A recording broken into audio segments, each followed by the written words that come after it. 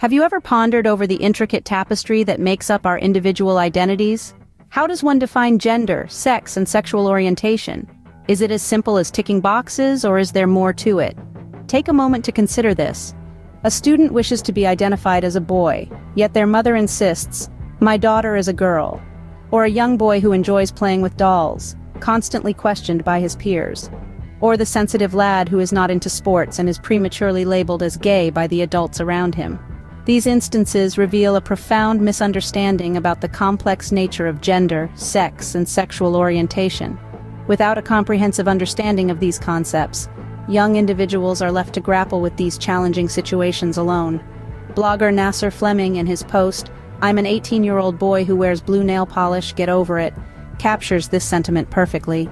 He states, Enforced gender roles do not only affect those who break them, but also those who give their blood, sweat, and health just to fit in with them.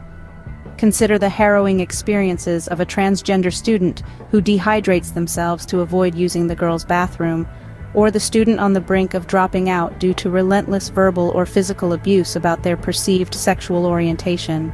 The key hurdle in creating fully inclusive environments is the presumption that sex, gender, and sexual orientation fit neatly into a binary model.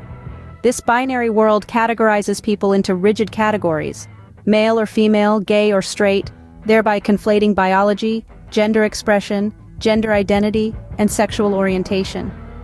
Our educational institutions have a history of reinforcing binary perceptions of sex and gender. From the moment children are registered for school, they are boxed into male or female categories.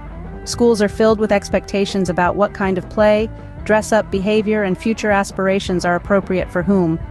If the goal is true inclusivity, we need to move beyond binaries and foster practices that embrace the diverse spectrum of biological sex, gender identity, gender expression, and sexual orientation.